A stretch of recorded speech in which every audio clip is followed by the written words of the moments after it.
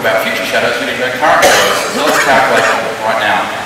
My GP model runs a Python script for creating sun positions, sends those points and parallel rays through the skyline tools and create shadow volumes.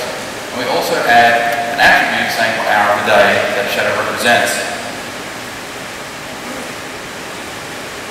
So here's the results at 11 o'clock in the middle of winter. And we can step through and see how that shadow is going to move the day. Or we can look at all of our results at once. If we go back to the hourly view, turn on the planned buildings and their shadows, you can step back through the day and see how it's going to change with this new construction. So seeing this is very helpful and useful, but 3D GIS is more than just seeing the data, it's also about understanding it. So we can summarize the impact at the building level. So we can identify the buildings and the residents.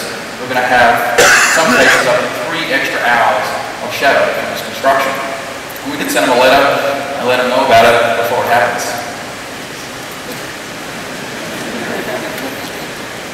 So city scale uh, analysis is important. But it's also important at the single building level. So here is KPN building. It's in a great location. And if we step through the day, you can see that right now it doesn't get very much shadow.